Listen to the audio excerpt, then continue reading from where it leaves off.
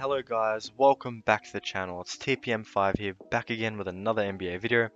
In today's video, I'll be talking about the Atlanta Hawks and why I believe they could have the NBA's next big dynasty. So without further ado, let's get started. Last season, the Atlanta Hawks had a 41-31 record, which was fifth in the Eastern Conference. They beat the Knicks. They surprisingly, or to many people, it was a surprise when they beat the Philadelphia 76ers and then they ended up losing to the Milwaukee Bucks in the conference finals. But that achievement to get there was already, you know, something that they should take pride in, and I believe that they have a lot of pieces to build with in the future. Now, the addition of uh, coach Nate McMillan can't be understated, as he led the team to a 27 11 record during his period of time uh, coaching at the end of the season. Uh, prior to that, Lloyd Pierce was at a 14 and 20 record. So I think you know, Nate McMillan developed an ability to get the best out of this team offensively, which was something that, you know, Lloyd Pierce wasn't able to do. And I think that it was the right choice to get rid of a coach they had while they were rebuilding and look at a guy that has done stuff with other franchises as well. But obviously, no one would have expected him to do this well on the job. Now, the Atlanta Hawks have a very depthy roster. They have a lot of young, talented players, you know, signed for the future. But just a quick break, guys. Uh, I make NBA content two to three times a week. I've been making it almost daily, uh, you know, during the off season. So if you'd like to, you know, stick around for that, I'd appreciate it. I'm about to hit 600 subs, so if you want to join the journey, feel free to. And otherwise, yeah, don't forget to like and comment. And let's continue with the video. So last season, Trae Young was averaging 25 points and 9 assists. Now he's still very young.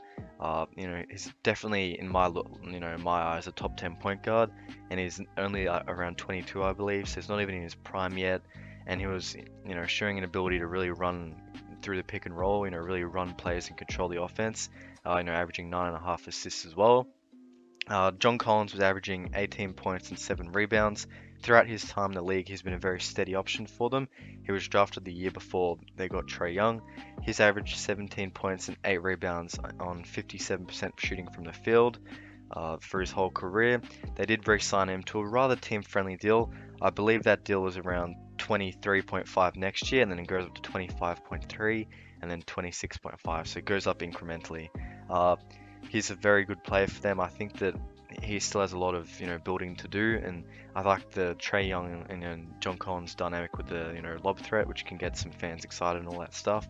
Now, as a duo, they were averaging 43 points, 11.3 rebounds, and also 10.6 assists. So those two guys still have a lot of improving to do, and I think that those two guys will be a key part of any future runs this Hawks team makes. Now, onto another guy that gets overshadowed by those two. Clint Capela has re-signed to the team, you know, an extension for another two years, 46 million. Uh, last season, he was averaging 15 points, 14 rebounds, and you know, he's a very good, you know, paint protector. He was averaging two blocks a night. He's one of the better rebounders in the league. He probably gets overshadowed, and he's still young, so he can grow with those two guys. You know, as a center, you know, he's pretty good. I think they've found their long-term center in him. Uh, probably, you know, want to have guys around him that can shoot, but he does his role and he does what he needs to do well enough to the point where you can have him out there. And I'd like to see him probably develop a bit more versatility defending so we can avoid some Rudy Gobert situations in the future. And then we have uh, another, I think, five players in the teams in terms of you know averages or at least you know in double figures.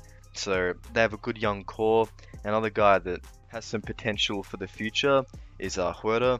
Now he's averaging you know 11 points, 3 rebounds, 3 assists uh, in the season that just went by, and that was considered a down year for him. Now he can be that you know another shooting guy they can have, another shooting wing, and he's still very young as well. He was picked up in the same draft class as Trae Young, so I think that he can still improve, and he's definitely going to be a key part of this team for the future. And he would hold some trade value too if that was, you know, part of the conversation. They also have forwards Cam Reddish, DeAndre Hunter, and then also, you know, Jalen Johnson, who they just picked up, who can, you know, develop for them. I liked uh, DeAndre Hunter's ability to score. He was averaging 15 points and 5 rebounds in just under 30 minutes a night. Uh, and then also Cam Reddish needs to develop a bit, but he's also doing well in the double figures in terms of points per game as well.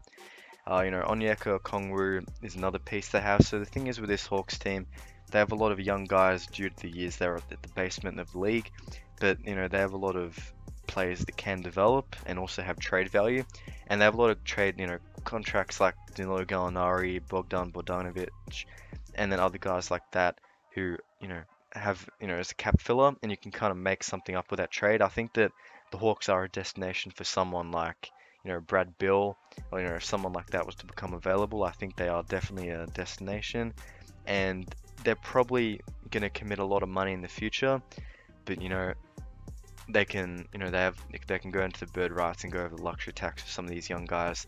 So just going to quickly go over the depth chart. We have Trae Young at point guard, Kevin Huerter at shooting guard, DeAndre Hunter at small forward, uh, John Collins at power forward, have Clint Capela at the center spot, then DeLon Wright off the bench, which you know was a good pickup for them. Bogdan Bogdanovic off the bench as well, averaging 16 points, which is pretty handy. Cam Reddish and Gallinari at the forward spots, and then Gorgui Dieng. And guys like Lou Williams, Solomon Hill, and Onyeka Okongwu who aren't even in that um, depth chart rotation getting significant minutes. So this team, you know, can do things in the future. I believe they have a bright future ahead of them. I think they'll be a contender in the Eastern Conference for many years to come, and I think that they also are a destination for a blockbuster trade. That brings me to the end of the video, guys, so please don't forget to like, share, and subscribe, and I'll see you in the next one.